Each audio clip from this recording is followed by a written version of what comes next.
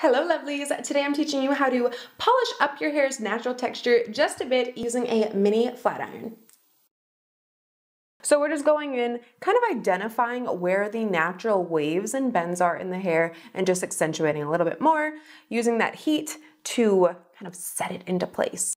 This section went totally straight on me, so needed a lot to get that piece brought back to life. Give it like a half of a turn accentuating like that bend. I really like this pattern here, so I don't think I'm gonna really touch any of this hair other than these ends, just to kind of seal the cuticle with the flat iron and give them a little bit of shine and polish. And then we're just gonna add a little bend at the bottom.